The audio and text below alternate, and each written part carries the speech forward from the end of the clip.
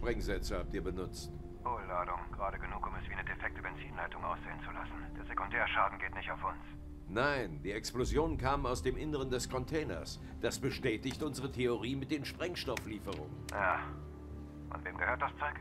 Ah, eine scheiß Briefkastenfirma in Dubai. Ist ziemlich aktiv. Karachi, Philippinen. Das Handy, das ihr gefunden habt, ist eine große Hilfe. Okay, ich muss das fragen. Wie geht's dir? Das geht schon. Sobald es politisch wird, sollen Feuer einstellen und tanzen. Bin aber kein Tänzer. Okay, also. Ab sofort leitet Voodoo Mako. Das wird ihn zwar nicht freuen, aber er steht bereit. Das hoffe ich. Wir kriegen gerade nasse Füße. Ach, darfst du mir mehr sagen? Im Moment nicht. Wir bleiben in Verbindung, Mann. Hey Stump, wenn ich's nicht schaffe, gib das meiner Ex-Frau. Ihr kriegt sie nicht. Kann losgehen. Alles andere hat sie nämlich schon.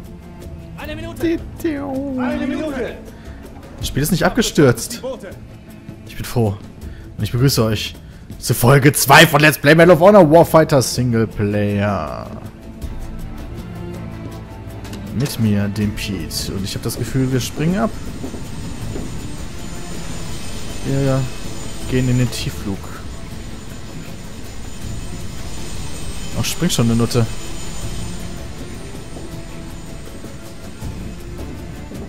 Oder fliegen wir mit dem Boot? Das wäre noch cooler. Wie übrigens äh, richtig... Okay, das Boot geht zuerst. Wie ihr übrigens richtig erkannt habt, noch ein Boot. Äh, ist einer der Synchronsprecher, der von Samuel L. Jackson. Hier von dem Chef, der das Ganze leitet, was wir gerade auch schon wieder hatten in der Sequenz. Cool. Und nein, ich habe nichts gegen Moslems oder so. Ich finde die Sprache einfach nur witzig. Strump, äh, ne, Stump, vor einer Woche.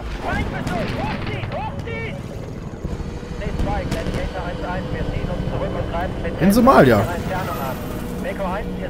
Hoffentlich werden wir nicht von Piraten überfallen. Bingo, das war die Luftunterstützung. Okay, Tier Grizzly soll dafür sorgen, dass niemand Ärger macht. Alles klar, Dingo. Wir schleichen ins Lager und greifen an. Das ist genau in der Mitte von Pirate Town. Behaltet die Strukturen im Auge. Los, los! Ja, ich darf wieder feuern. Äh, steuern. Und feuern. So, das ist total krass. Das äh, habt ihr ja schon mitbekommen. Letztes Mal dieses in Deckung gehen und über die Deckung hinausschauen. Wir suchen Alpha. Witzig. Man sucht in jedem zweiten Actionspiel Alpha. In Gears of War 1 beispielsweise auch. Dich habe ich getroffen, du kleine Nutte. So, ich mache jetzt mal hier den Deckung.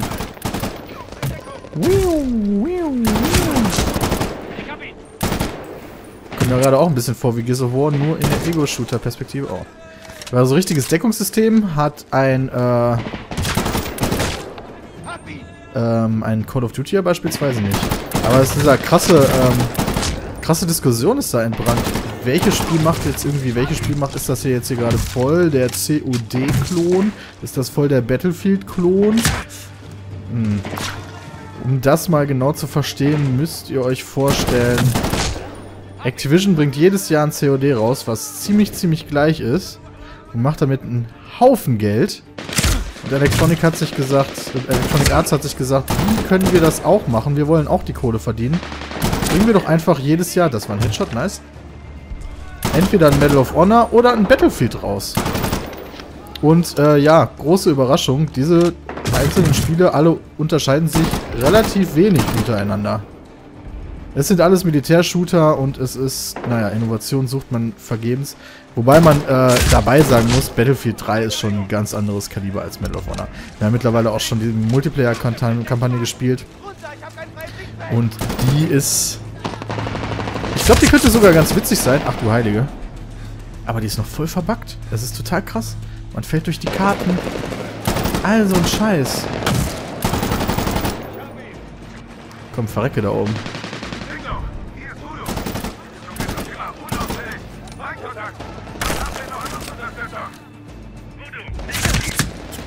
Jetzt habe ich eine andere Waffe aufgenommen. Nice. Stopp, wir brauchen freie Sicht auf den Scharfschützen. Den Rest erledigt das Boot. LMG, Fenster, zweites Deck. Also das äh, absolute Lieblingsspiel von mir wird äh, Medal of Honor mit Sicherheit nicht. Aber ähm, es ist hübsch. Und bisher hat sich noch nicht allzu viele Fehler geleistet, muss man sagen. Also die Singleplayer-Kampagne, das ist halt so, hat man alles schon 50.000 Mal in anderen Shootern gesehen, ohne Witz. Deswegen, ich gehe an dieses Ding mehr so als, äh, als Persiflage ran. Fand ich irgendwie passender, weil die ganzen, äh, die ganzen Kommentare, die so abgelassen werden, das ist eigentlich schon so veraltet. Ich hätte nicht gedacht, dass sich sowas nochmal jemand traut. Weil selbst Call of Duty geht ja mittlerweile etwas andere Wege, indem sie mit Black Ops 2 in die Zukunft gehen. Aber hier haben wir einen ganz, ganz effen Ego-Shooter mit den Taliban als Bösewichten. Welche Überraschung, die Terroristen sind die Bösen. Aber ohne Scheiß, ich finde es jetzt nicht so furchtbar. Es ist nicht so, dass ich sagen würde, boah, nee, das packe ich mit der Kneifzange nicht an. Weil es spielt sich halt gut. Es sieht vor allen Dingen auch recht gut aus. Es ist richtig, einige haben angemerkt, Frostbite 2 ist nicht unbedingt gleich Battlefield. Alter, wie geht's denn jetzt hier weiter? Wollt ihr mich verarschen? Ihr Bobbys da vorne?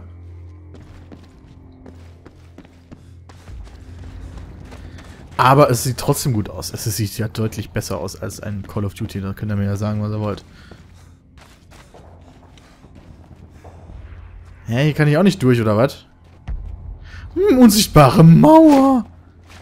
Arsch. Na komm. Voodoo, was muss ich machen? Nicht verschwenden. Okay, das schon mal nicht. Escape drücken. Brich durch und sichere den Bereich. Okay, gerne. Wollt ihr mich jetzt hier verarschen? Jetzt kann ich doch hier nicht festhängen. Das gibt's doch gar nicht. Irgendwie eine Tür durchbrechen? Ne, oder? Ne, komm, gehe ich mal zurück zu den anderen Bobbys, die da hinten noch rumstehen. Wieso folgen die überhaupt nicht? Kann ja schon nicht richtig sein. So, was ist hier los? Right. Du stehst da dumm rum. Ja, du musst nicht in Deckung gehen. Hier ist kein Gegner. Hier ist alles easy. Guck mal, der ist tot. Die sind alle tot. Wieso kann ich hier nicht durch? Wieso kann ich hier nicht durch? Wieso lasst mich... What the fuck? Ihr wollt mich ja wohl hier verarschen, oder was? Habe ich jetzt schon wieder einen Bug? Okay, Leute, entschuldigt mich für eine Sekunde. Ich muss herausfinden, was los ist. Wir sehen uns gleich wieder. Okay, es war eventuell kein Fehler. Es war eventuell meine eigene Dummheit, weil ich habe zwar da unten bei den Türen geguckt, ob ich da durchchecken muss, aber ähm, nein, ich muss durch diese Tür. Ja, das äh, wurde mir sogar gesagt, aber ich glaube, da war ich zu vertieft in äh, Blarabelei. Deswegen geht's jetzt so weiter hier, Mr. Bart. Einmal aufbrechen. Ja, es kann losgehen. Bam, bam, bam, bam. Oh, da LOL. Oh, oh. Nein, den habe ich überhaupt nicht gesehen. Verdammt, der ist in der Dunkelheit irgendwie nicht aufgefallen. Woran das liegt, weiß ich aber auch nicht. Nein, die Piraterie auf der See kostet den Handel weltweit pro Jahr bis zu 7 Milliarden Dollar. Also haben wir, ist das hier echt irgendwas mit Piraten? Storytechnisch ist das ja eigentlich nicht der Fall. Was sind denn das für, was sind das für Kontrollpunkte? Ich hab den, ich bin hier gerade gestorben. Ja, okay, komm, scheiß drauf.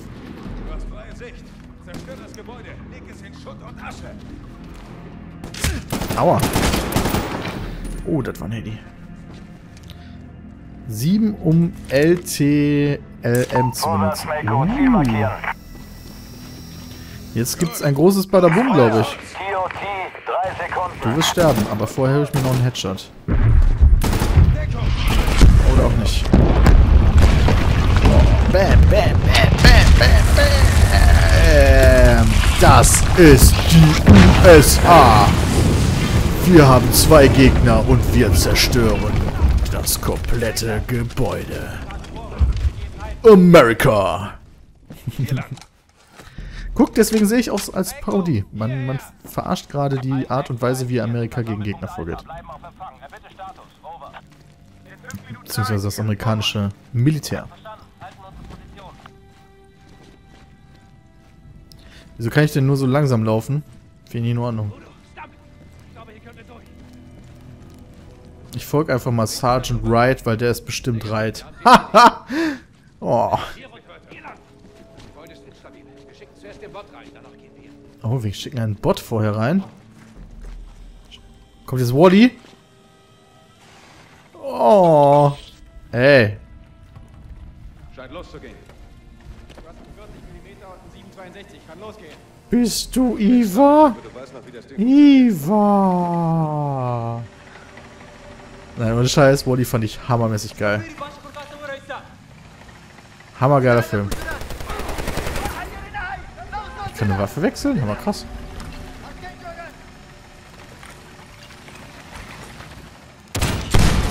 Jawoll! Okay, vielleicht zocken wir doch nicht Wally. Oh, geil, Wally kann hier die Felsen hoch. Komm schon, Wally! Komm schon! Ach, du bist doch ein dummes Stück Kacke. Nimm den Schutt und bau den zu Klumpen, hä? Das kannst du doch. Komm, dann gehen wir hier rum.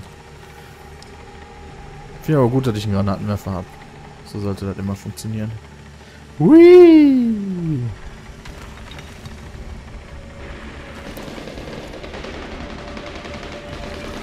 Okay, wo sind die Gegner? Wo sind die Gegner? Oh, da darf ich glaube ich nicht rum. Sind die Gegner? Oh nein, ich weiß, dass die Mehrzahl von Gegner nicht Gegners ist. Huch.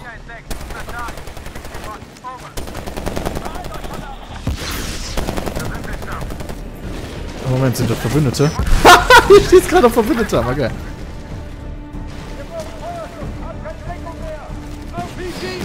Ich frage mich, wer den Bot gerade überhaupt in der Tasche hatte. Mir ja schon recht krass viel vor. Würde gerne einmal Waffen wechseln, bitte.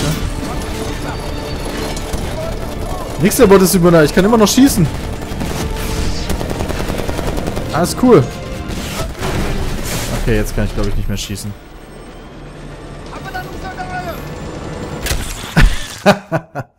ja komm, wir sind doch noch hier so ein paar Leute. Wally ist leider gestorben. Das wäre das falsche Ende für einen Disney-Film. Komm, darf ich wieder ich selbst sein? Ja. Bewegung! Roger! Durchhalten, 1-4. Wir sind gleich da. So sieht's nämlich aus. 1-6, hier ist 1-4. Oh, soll irgendjemand folgen. auf der anderen Straßenseite. Verstanden. Vorsicht, in den Gebäuden sind Tangos. Tangos? Ich glaube, wir müssen hier wieder ein bisschen eine Runde durchbrechen, oder? Nee. Doch. Ach, das geht nur, wenn die mir das vorher sagen. Ich verstehe. Wäre ein bisschen witzig, äh, wie bei Medal of Honor die Entwickler immer sagen, ultra realistisch. Wir haben Militärpersonal eingestellt und so weiter und so fort. Allzu realistisch das Spiel mit Sicherheit nicht. Weil, wenn... Hier ist noch irgendwo einer. Wo? Da. Bam! Weil, ähm, allein schon, dass wir echt viel Munition haben. Uiuiuiuiui. Da oben irgendwo. Wo ist er? Wo ist er, wo ist er, wo ist er? Fick dich! Aber immerhin stirbt man relativ zügig. Das finde ich gar nicht so verkehrt, muss ich sagen. Da habe ich mir noch einen Headshot abgesnackt. Wo seid ihr? Bitches. Da ist einer. Friss meine Granate! Oh, Ich glaube, die war gar nicht so scheiße geworfen. Oh, wie er wegrennt.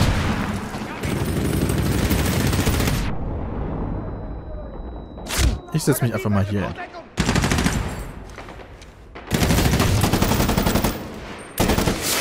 Oh, da ist noch ein böser, böser. Das war kein Hedy. Am Arsch war das kein Hedy. Das war sowas von Hedy. Das war ein Hedy. Okay. Ja, ich meine, natürlich war das ein Hedy. Oh, ich habe keine Muni mehr. Ey, Kollege, gib mir Muni. Wobei ich das eigentlich gar nicht so verkehrt finde. Ähm, in vielen Spielen ist Munition, Knappheit ein wichtiger Punkt des Designs. Aber Medal of Honor halt nicht. Ist halt, ein, ich nenne es mal Arcade-Shooter. Und das kann es ganz gut. Einfach so sinnbefreit äh, Spaß machen. Und gut aussehen. Oh! Wie soll ich den denn aufhalten? Soll ich verarschen? Oh, fuck.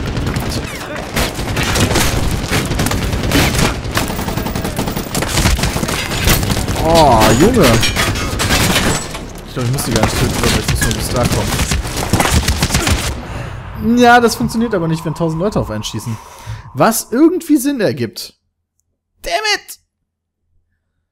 Machen wir nochmal. Die Produktion des AK-47 wurde Ende der 50er Jahre eingestellt, als es vom AKM abgelöst wurde. Die AKM kennt man sehr gut. Pro alleine Daisy-Style. AKM ist geil.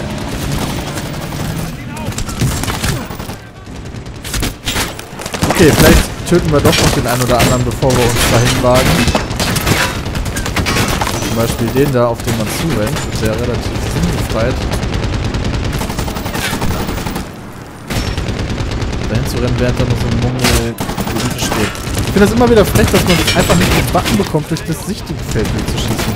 Ich glaube, das ist von diesen Spielen aber auch gewollt. Ich finde das nicht nur... LOL. Das Button bekommt, durch das Sichtfeld durchzuschießen. Ja, ich bin mal froh, würde ich sagen. Bam, Hedy! So, wo seid ihr Nutten? Guck mal, hier sollte man wahrscheinlich den Typen flankieren. Nicht nötig. Weil wir haben es drauf. Machle! Ähm, wie gesagt. Also, ich habe nichts gegen irgendeine Nation. Ich habe nichts gegen... Vor allen Dingen habe ich nichts gegen irgendeine Religion. Ist mir vollkommen scheißegal, woran ihr glaubt. Äh, ich finde einfach nur die Sprache witzig. Ich finde auch, äh, jede... Oh mein Gott. Fernöstliche Sprache durchaus unterhaltsam. Also, Chinesisch, Japanisch. Ich muss immer lachen, wenn ich sowas höre. Das ist nichts Persönliches. Wenn ihr über die deutsche Sprache lacht, dann sei ich das. Dann, dann ist das von mir aus so. Da habe ich kein Problem mit. Wobei ich die deutsche Sprache cool finde. Im Gegensatz zu vielen anderen. Finde ich sogar deutlich cooler als Französisch oder sowas.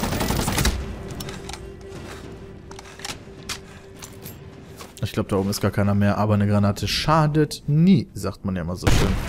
Ich glaube, ich bin schon, ich bin schon wieder über, über the Zeit, aber daran merkt man ja schon wieder, das Spiel ist nicht langweilig. Würde ich auf keinen Fall sagen. Und ich glaube, das ist das Allerwichtigste bei einem Spiel, dass es nicht langweilig ist. Aber egal, ich muss die...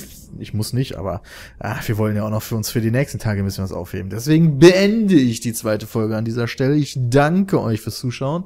Und wir sehen uns dann morgen am Samstag wieder. Bis dahin. Haut rein, Leute!